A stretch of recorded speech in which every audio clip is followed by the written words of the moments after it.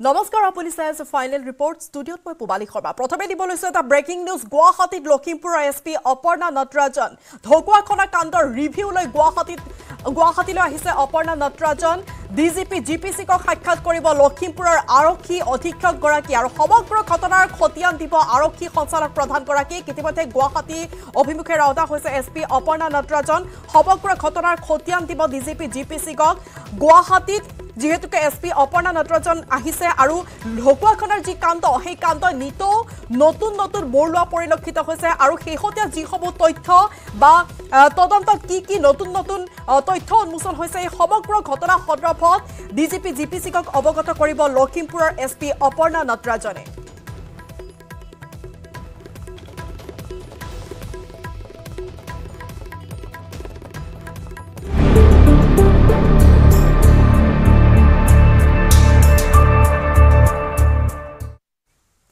ঢকুৱাখনৰ সুনীল গগৈ কাণ্ডক লৈ আৰক্ষীৰ ক্ষীপ্ৰ তদন্ত দেখিবলৈ পোৱা গৈছে।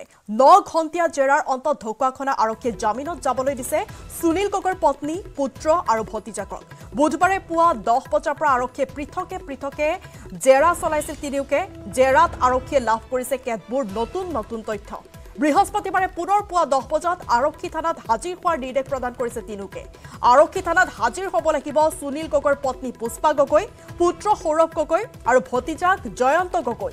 জেৰাৰ মাজতে আৰক্ষীয়ে সুনীলৰ পুত্ৰ সৌৰভ গগৈক লৈ অভিযান চলাই সুনীল গগৈৰ ঘৰত ঘৰৰ চৌহদতে থকা শ্ৰমিকৰ কোঠাটো অভিযান চলাই আৰক্ষীয়ে সুনীলৰ ভাতৃৰ ঘৰতো অভিযান চলাই আৰক্ষীয়ে। অভিযান কালত আৰক্ষীয়ে পেন ড্ৰাইভৰ লগতে জব্দ কৰিছে ভোটাৰ আই ডি বেংক পাছবুককে ধৰি বহু গুৰুত্বপূৰ্ণ নথি। আজি প্ৰায় এক ন ঘণ্টীয়া জেৰা চলোৱা হৈছিল। তিনিওৰে সৈতে সুনীল গগৈৰ পত্নী পুত্ৰ আৰু ভতিজাকৰ সৈতে আৰু সেই ন ঘণ্টীয়া জেৰাৰ অন্তত অৱশেষত যাবলৈ দিয়া হৈছে তিনিওকে। কিন্তু কাইলৈ পুনৰ দহ বজাত ঢকুৱাখনা আৰক্ষী থানাত তেওঁলোক উপস্থিত হ'ব লাগিব। কাইলৈও তেওঁলোকক জেৰা চলোৱা হ'ব। আজিও পৃথকে পৃথকে তেওঁলোকক জেৰা চলোৱা হৈছিল। আৰু জেৰাৰ মাজতে সুনীল গগৈৰ পুত্ৰক লৈ আৰক্ষী সুনীল গগৈৰ বাসগৃহলৈ আহিছিল।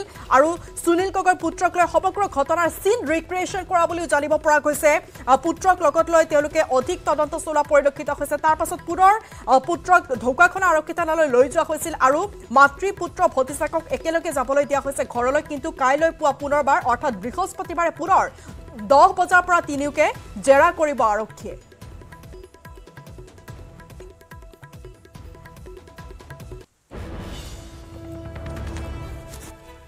ঢকুৱাখনৰ যি সুনীল গগৈ কাণ্ড ঢকুৱাখনৰ যি এই মৃতদেহ উদ্ধাৰৰ কাণ্ড সেই মৃতদেহ উদ্ধাৰৰ কাণ্ডৰ নতুন নতুন মূৰ দেখিবলৈ পোৱা গৈছে। প্ৰথমে সেই মৃতদেহটো যি চুমনিত উদ্ধাৰ হৈছিল মৃতদেহ সেই মৃতদেহটো সুনীল গগৈ বুলি সন্দেহ কৰা হৈছিল। কিয়নো মৃতদেহটোৰ কাষতে পৰি আছিল সুনীল গগৈয়ে। ব্যৱহাৰ কৰা কেইবাবিধো সামগ্ৰী। চেণ্ডেলকে ধৰি সুনীল গগৈয়ে পৰিধান কৰা কাপোৰ পৰ্যন্ত সেই মৃতদেহটোৰ কাষতেই পৰি আছিল।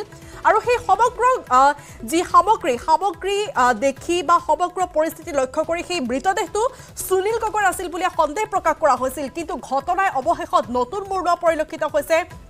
মঙলবাৰৰ দিনটোত অৰ্থাৎ কালিৰ দিনটোত দেখিবলৈ পোৱা গৈছিল এছ পি অপৰ্ণা নটৰাজনে এক সংবাদমেল সম্বোধন কৰিছিল। আৰু সেই সংবাদমেলত তেওঁ স্পষ্টকৈ উল্লেখ কৰিছে যে সেই মৃতদেহটো সুনীল গগৈৰ নহয় পৰিৱৰ্তে সুনীল গগৈৰ যিগৰাকী ৰাজমিস্ত্ৰী জাহাংগীৰ হুছেইন জাহাংগীৰ হুছেইনৰ বুলি প্ৰমাণিত হৈছিল। আৰু মৃতদেহটো জাহাংগীৰ হুছেইনৰ বুলি প্ৰমাণিত হৈছিল জাহাংগীৰৰ ভাতৃৰ সৈতে ডি এন এ মিলিছিল। ডি এন এ টেষ্ট কৰা হৈছিল ভাতৃৰ সৈতে। আৰু তাৰ পাছতেই সমগ্ৰ ঘটনা পোহৰলৈ আহিছিল। তাৰ পাছতে এতিয়া প্ৰশ্ন উত্থাপন হৈছে। সুনীল গগৈ আচলতে বৰ্তমান আছে ক'ত? সুনীল গগৈ আত্মগোপন কৰিছে নেকি? বা এই সমগ্ৰ ঘটনাৰ সৈতে সুনীল গগৈৰ পত্নী বা পৰিয়ালৰ আন কোনোবা সদস্য জড়িত হৈ আছে নেকি? তাৰ পাছতে দেখিবলৈ পোৱা গৈছে ধাৰাবাহিক তদন্ত আৰম্ভ কৰিছে আৰক্ষীয়ে। ইজনৰ পাছত সিজন লোকৰ সৈতে জেৰা কৰা পৰিলক্ষিত হৈছে আৰক্ষীয়ে। তাৰে উদাহৰণস্বৰূপে আজি দেখিবলৈ পোৱা গৈছিল ৰাতিপুৱা দহ বজাৰ পৰা পত্নী পুত্ৰ আৰু ভতিজাকৰ সৈতে আৰক্ষীয়ে জেৰা চলোৱা পৰিলক্ষিত হৈছিল আৰু ন ঘণ্টীয়া এক দীঘলীয়া জেৰা বুলি ক'ব লাগিব। সুদীৰ্ঘ এক জেৰাৰ পাছত তিনিওকে ঘৰলৈ যাবলৈ দিয়া হৈছে। তাৰ মাজতে কিন্তু দেখিবলৈ পোৱা গৈছিল সুনীল গগৈৰ পুত্ৰক লগত লৈ আৰক্ষীয়ে সুনীল গগৈৰ ঘৰতো আহি অভিযান চলোৱা পৰিলক্ষিত হৈছে আৰু সুনীল গগৈৰ ঘৰত চলাই বহুখিনি আপত্তিজনক সামগ্ৰী জব্দ কৰিবলৈ সক্ষম হৈছে। তাৰে ভিতৰত কিছুমান ভোটাৰ আই ডি কাৰ্ড জব্দ কৰিবলৈ সক্ষম হৈছে। আধাৰ পেন কাৰ্ড জব্দ কৰিবলৈ সক্ষম হৈছে। লগতে পেন ড্ৰাইভ পোৱা বুলি জানিব পৰা গৈছে য'ত জল জীৱন মিছনৰ বহুখিনি গুৰুত্বপূৰ্ণ নথি আছে বুলি ইতিমধ্যে জানিব পৰা গৈছে। আৰু কাইলৈ পুনৰবাৰ ঢকুৱাখনা আৰক্ষী থানাত হাজিৰ হ'ব লাগিব সুনীল গগৈৰ পত্নী পুত্ৰ আৰু ভতিজাক। কাইলৈও পুনৰবাৰ পৃথকে পৃথকে তেওঁলোকক জেৰা চলোৱা হ'ব। আৰু যিহেতুকে ঘটনাই নিতৌ নতুন মূৰ লৈ থকা পৰিলক্ষিত হৈছে কাইলৈও হয়তো জেৰাত আন আন নতুন তথ্য পোহৰলৈ অহাৰ সম্ভাৱনা আছে।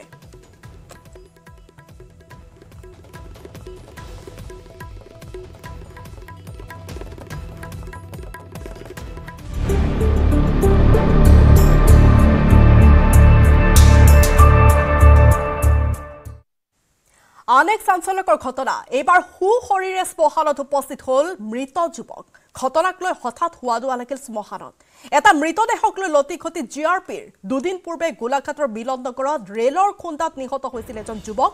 যুৱকজনৰ মৃতদেহ আজি পুৱা পৰিয়ালক গতাইছিল আৰক্ষীয়ে। মৃতদেহ সৎকাৰৰ সময়তে শ্মশানত উপস্থিত হ'লহি যুৱকজন। গোলাঘাটৰ শালমৰাত সংঘটিত হৈছে এই আচহুৱা ঘটনা। ৰেল আৰক্ষীয়ে মৃত সজোৱা যুৱকজনৰ নাম দেৱ পূজাৰ বুলি জানিব পৰা গৈছে। উল্লেখ্য যে এসপ্তাহ ধৰি নিৰুদ্দিষ্ট হৈ আছিল দেৱ পূজৰ। মৃতদেহটো নিৰুদ্দিষ্ট দেৱ পূজৰৰ বুলি চিনাক্ত কৰি সৎকাৰৰ ব্যৱস্থা কৰিছিল পৰিয়াল আৰু স্থানীয় লোকে। মৃতদেহ দাহনৰ প্ৰস্তুতি কৰাৰ সময়তে দেৱ পূজৰ সু শৰীৰে আহি শ্মশানত উপস্থিত হোৱাত হোৱা দোৱা লাগে আৰু ৰেলৱে পুলিচক খবৰ দিয়া হয় ইয়াৰ পাছতে ৰেলৱে পুলিচ ঘটনাস্থলীত গৈ উপস্থিত হয় আৰু দাহ কৰিবলৈ লোৱা যিটো মৃতদেহ সেই মৃতদেহটো গোলাঘাট অসামৰিক চিকিৎসালয়ৰ মৰ্গলৈ প্ৰেৰণ কৰা হয়। এক আচহুৱা ঘটনা সংঘটিত হৈছে। এই ঘটনাটো সংঘটিত হৈছে গোলাঘাটত। এজন যুৱক মৃত বুলি ভাবি সৎকাৰ কৰিবলৈয়ে লৈছিল কিন্তু সৎকাৰৰ ঠিক প্ৰাক মুহূৰ্ততেই শ্মশানত গৈ উপস্থিত হৈছে। সি মৃত বুলি ঘোষিত সেই যুৱকজন। আৰু বিগত এসপ্তাহে সেই যুৱকজন নিৰুদ্দিষ্ট হৈ আছিল বুলি জানিব পৰা গৈছে। আৰু শেহতীয়াকৈ এক ৰেল দুৰ্ঘটনা সংঘটিত হৈছিল। সেই ৰেল দুৰ্ঘটনাত এজন যুৱক নিহত হৈছিল। আৰু সেই নিহত যুৱকজনেই মৃত যিগৰাকী যুৱক দেৱ পূজৰ দেৱ দেৱ পূজৰক মৃত বুলি ভাবিছিল পৰিয়ালে। পৰিয়ালেই অৱশ্যে চিনাক্ত কৰি উলিয়াইছিল মৃতদেহটো। আৰু সম্পূৰ্ণ যুঁজা চলাইছিল সৎকাৰৰ বাবে। সৎকাৰৰ বাবে আনকি শ্মশানত নিয়াও হৈছিল চিতাত উঠোৱা হৈছিল মৃতদেহ। তেনে সময়তে দেখিবলৈ পোৱা গৈছে এই আচহুৱা ঘটনাটো। মৃতদেহ বুলি দেৱ পূজৰক সৎকাৰ কৰিবলৈ নিয়া হৈছিল সেই মৃতদেহ দেৱ পূজৰৰ বুলি। কিন্তু স্বয়ং দেৱ পূজৰ গৈ উপস্থিত হৈছেগৈ ঘটনাস্থলীত। আৰু এই যি ঘটনা এই ঘটনাই সকলো ৰাইজকে বিমূৰত পৰিলক্ষিত হৈছে। আনকি জি আৰ পিও বিমূৰত পৰিছে এই ঘটনাৰ পাছত। কি হৈছিলে এতিয়া মইতো নাজানো মইতো কাম কৰি থাকি মেলি। মই গম নাপাওঁ। এতিয়া ফোন কৰি আৰু মালিকৰ ঘৰত গৈছে আৰু মোক তাতে চাইছে কাম কৰা আৰু উঠাই মেলি লৈ আহিছে। আহি মেলি দেখিছে গোটেইখিনি মানুহ ইটো জিন্দাই আছে সি ক'ত মৰিছে বুলি। বেলেগৰ মানুহক উঠাই লৈ আহিছে মানে। এতিয়া কোনে আনিছে এতিয়া মইতো নাজানো মইতো তাত আছোঁ। কাম কৰা জেগাত মই দেখা নাই। অঁ সমজাই দিছে বোলে এইটো বোলে দেৱ দেৱ পূজৰে হয়। অঁ ভাবিছিলোঁ যে আমাৰ হেৰি সেইটো আমাৰ ভাই হয় নেকি কোন হয়? তেনে হেৰি ইয়াতো হৈছে বোলে। সেইকাৰণে মানে খৰি চৰি লৈ আহিছিলোঁ। গতিকে এতিয়া চালোঁ যে ভাইটো ওলালে সি কামত আছে। গতিকে সেইকাৰণে আৰু এইটো কাৰ হেৰি লৈ আনিছিল দি দিছিল আমাক পঠিয়াই আমাৰ হয় বুলি। তেওঁ হয় বুলি আমি কান্দিও গৈছোঁ। হা কান্দি যোৱাৰ পিছতো ইয়াক মই হয় বুলি ইয়াক ভাবি আছোঁ। সি হয় নেকি? এনেকুৱা বুলি মই ভাবি ইয়াৰ কথাটো মই গোটেই ৰাইজক কৈ দিলোঁ। ৰাইজক কৈ মই সমজাই দিলোঁ। হয় নেকি এওঁ হয় নেকি? এনেকুৱা বুলি মই সমজাই দিলোঁ। গৌৰৱ গগৈ হ'ব পাৰে লোকসভাৰ বিৰোধী দলপতি। ৰাহুল গান্ধীয়ে বিৰোধী দলপতিৰ পদ অস্বীকাৰ কৰাৰ পাছত এতিয়া এই সম্ভাৱনা প্ৰকাশ প্ৰকাশ পাইছে। বিৰোধী দলপতিৰ বাবে কংগ্ৰেছৰ পেনেলত আছে তিনি সাংসদৰ নাম আৰু সেই তিনি সাংসদ হৈছে গৌৰৱ গগৈ মনীষ তিৱাৰী আৰু কুমাৰী চেলজা। কুমাৰী চেলজা হাৰিয়ানীত হাৰিয়ানাত কংগ্ৰেছৰ মুখ্যমন্ত্ৰী পদৰো প্ৰাৰ্থী হোৱাৰ পূৰ্ণ সম্ভাৱনা আছে। মনীষ তিৱাৰীতকৈ লোকসভাৰ অভিজ্ঞতাৰ দিশত আগবাঢ়ি আছে গৌৰৱ গগৈ গতিকে এতিয়া গৌৰৱ গগৈৰ নাম চৰ্চালৈ আহিছে। গৌৰৱ গগৈ হয়তো লোকসভাৰ বিৰোধী দলপতিৰ আসনত অধিষ্ঠিত হোৱাৰ পূৰ্ণ সম্ভাৱনা আছে। প্ৰথমে ৰাহুল গান্ধীক বিৰোধী দলপতিৰ আসনত বহোৱাৰ বুবা চলিছিল যদিও চৰ্চা চলিছিল যদিও ৰাহুল গান্ধীয়ে এতিয়া বিৰোধী দলপতি আসনত নবহো বুলি ইতিমধ্যে উল্লেখ কৰিছে। তেওঁ স্পষ্টীকৰণ প্ৰকাশ কৰিছে। তাৰ পাছতে এতিয়া দেখিবলৈ পোৱা গৈছে গৌৰৱক লৈ চৰ্চা আৰম্ভ হৈছে। গৌৰৱ গগৈ হয়তো লোকসভাত বিৰোধীৰ দলপতি হ'ব পাৰে বিৰোধীৰ দলপতিৰ আসনত বহিব পাৰে। কেৱল গৌৰৱ গগৈয়ে নহয় আন গৌৰৱ গগৈৰ সহিতে তিনিগৰাকীকৈ সাংসদৰ নাম এতিয়া চৰ্চালৈ আহিছে। আহ, কুমাৰী চেলজা মনীষ তিৱাৰীৰ নামো এতিয়া চৰ্চাত থকা বুলি জানিব পৰা গৈছে। কিন্তু আটাইতকৈ বেছি সম্ভাৱনা প্ৰকট হৈ উঠিছে গৌৰৱ গগৈ। গৌৰৱ গগৈ হয়তো বিৰোধীৰ দলপতিৰ আসনত বহিব পাৰে লোকসভাত।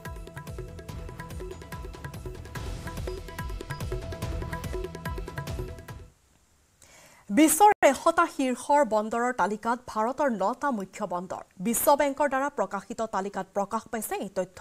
বিশ্ব বেংক আৰু S and P global marketing ইণ্টেলিজ- ইণ্টেলিজেন্সে প্ৰস্তুত কৰা প্ৰস্তুত কৰা প্ৰতিবেদন অনুসৰি এই তালিকাৰ ঊনৈছ নম্বৰ স্থানত আছে বিশাখাপট্টনম সাতাইছ নম্বৰ স্থানত আছে মুন্দ্ৰা একচল্লিছ নম্বৰ স্থানত আছে পিপাৱাও সাতচল্লিছ নম্বৰ স্থানত আছে কামাৰাজাৰ তেষষ্ঠি নম্বৰত আছে কোচিন আঠষষ্ঠি নম্বৰত আছে হাজিৰা এসত্তৰ নম্বৰ স্থানত আছে কৃষ্ণপট্টনম আশী নম্বৰ স্থানত আছে চেন্নাই আৰু ছয়ানব্বৈ সংখ্যক যি স্থান সেই স্থানত আছে জৱাহৰলাল নেহৰু বন্দৰ।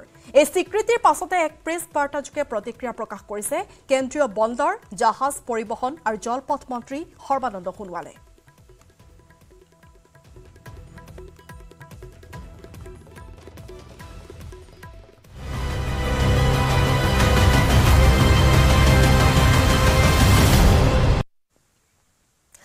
আহাৰমহীয়া বানে বিধ্বস্ত কৰিছে ৰাজ্যৰ ভিন্ন প্ৰান্ত।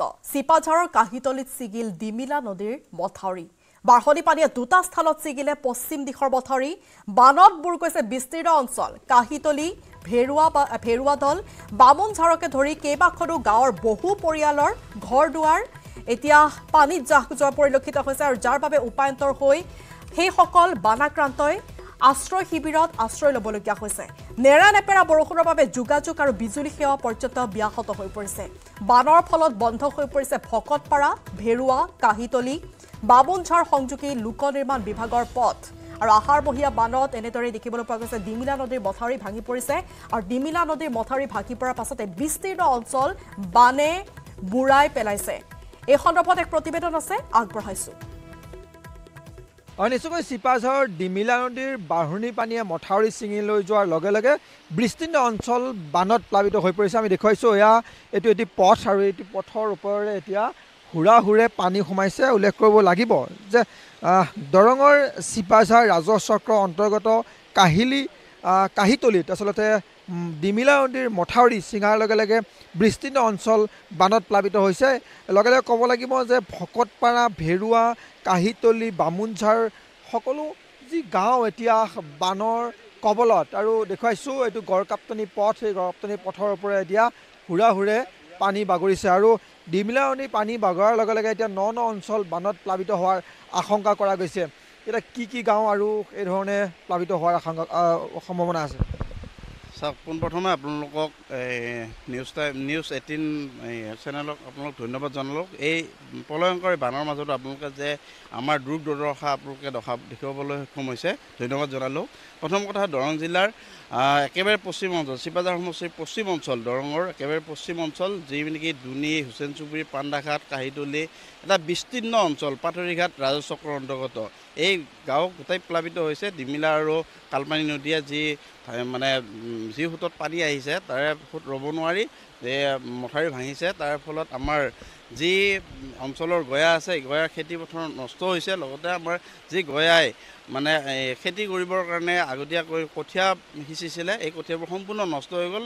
লগতে পুখুৰীৰ যিবিলাক আছে পুখুৰীবিলাক মানে বুৰি পানী নষ্ট হৈ গ'ল। গতিকে আমি আশা কৰিছোঁ আমাৰ যিখিনি মানে সাধাৰণ ৰাইজৰ কৃ- কৃষি ক্ষেত্ৰত যিখিনি নষ্ট হৈ গ'ল সেইখিনি ক্ষতিপূৰণ পাব। আৰু লগতে আমি দৰং জিলা যুৱ মৰ্চাৰ এটা টীমে ৰাতিপুৱাৰ পৰাই গোটেই অঞ্চলটোৰ যিখিনি মানে বান বিধ্বস্ত অঞ্চলৰ মানে ঘৰৰ মানে অসুবিধা হৈছিলে তেওঁলোকৰ মাজত আমি কাম কৰি আছোঁ। আমি দেখুৱাইছোঁ পুনৰ এয়া আছে অতি কলকাপ্তনি পথ গুৰুত্বপূৰ্ণ পথ ইতিমধ্যে পন পথ ইতিমধ্যে এই ধৰণে যি বানে উটুৱাই লৈ গৈছে খহাই লৈ গৈছে। কি গাঁও আছে ইয়াতে? ইয়াত কাঁহিতলি আছে আৰু কৰিবাৰী আছে আৰু বামুঞ্জাৰ আছে। চবৰে ঘৰত পানী নেকি? চব কাঁহিতলি প্ৰায় পানী আৰু কৰিবাৰীটো পানী। পথাৰি কেতিয়া ছিঙিলে? মাথাউৰি ৰাতি দুটামান বজাত ছিঙিছে। এতিয়া যদি পানী সোমাই থাকে কি কি গাঁও আৰু এই আৰু এই দুই নম্বৰ বামুঞ্জাৰ এক নম্বৰ বামুঞ্জাৰতো সম্ভাৱনা হৈ আছে। এতিয়া মানুহবিলাক ক'ত আছে? এতিয়া ৰাস্তা ৰাস্তাত আছে শিবিৰ অৱশ্যে পতা নাই ৰাস্তাতে আছে মান- মানুহবিলাক। হয়। শিবিৰ স্কুলবিলাকতো পানী দেখিছোঁ আমি। অঁ স্কুলবিলাকতো পানী হৈছে। আমাৰ এক নম্বৰ কাহিনীটো স্কুলতো হৈছে পানী। তাতে শিবিৰ দিলে ক'ত থাকিব লাগিব? এই শিবিৰ দিলে কাহিনীটো তাতে থাকিব লাগে। কিন্তু সেই হেৰি ফিল্ডতহে উঠিছে। স্কুলৰ অৱশ্যে হেৰি ভিটি উঠি- নাই। পুনৰ দেখুৱাইছোঁ।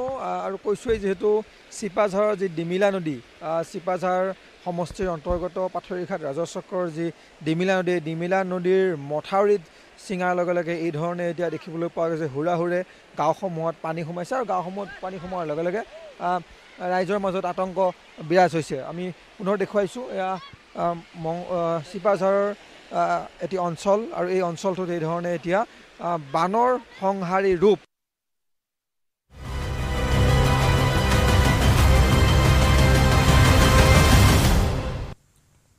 ইফালে ভূটান পাহাৰৰ পৰা নামি অহা নোৱা নৈৰ বাঢ়নি পানীয়ে বুৰাই পেলালে মঙলদৈ ভুটীয়াচাং পথকে ধৰি বহুকেইখন গাঁও।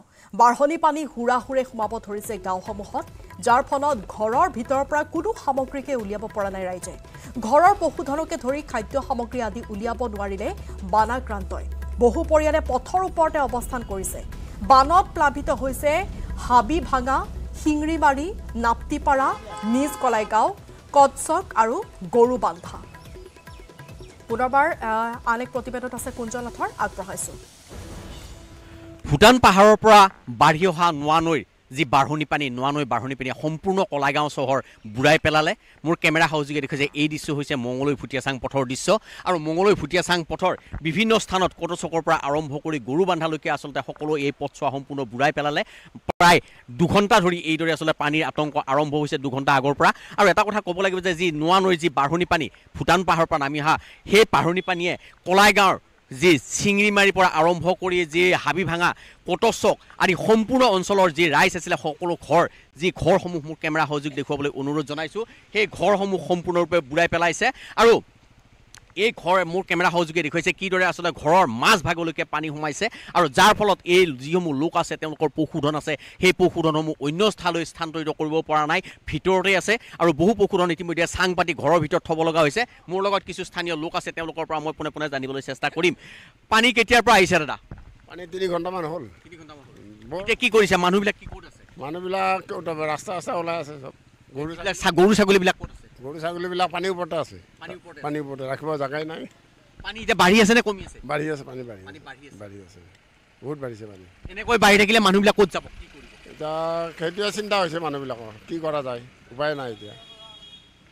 মানে দুঘণ্টাৰ ভিতৰত সম্পূৰ্ণ ব- জলমগ্ন হৈ গ'ল। দুই ঘণ্টাতকৈ আৰু দুই ঘণ্টা লাগাই নাই। ইমান জোৰত আহিছে পানী। গভমেণ্ট পানী বাঢ়ি আছে? বাঢ়ি আছে পানী বাঢ়ি আছে। কেইখনমান গাঁও এতিয়া এতিয়ালৈকে প্লাবিত হ'ল? এই ছয় সাতখনমান গাঁও। কি কি গাঁও? হাবিভঙা চিংৰামাৰী ইফালে আপোনাৰ এই কি গাঁও এইখানে ইফালে? নাক্তিপাৰা এইবিলাক আপোনাৰ ঘৰত পানী উঠিছে? মোৰ ঘৰৰ নে ৰাস্তাত উঠিছে ভিতৰত সোমোৱা নাই আৰু। ৰাস্তাত ৰাস্তাত উঠিছে। ভিতৰত ঘৰতো সোমোৱা নাই সোমাব আৰু অলপমান দাদা কি হৈছে? পানী কিমান হৈছে? পানী বহুত হৈছে। এই কি কাৰণত পানীটো হোৱা বুলি ভাবে? আমাৰ উত্তৰৰ ফালে গৰু বান্ধাৰ উত্তৰৰ ফালে যিখিনি হৈছে সেইখিনি হৈছে দলংখনত পানী লাগিছে।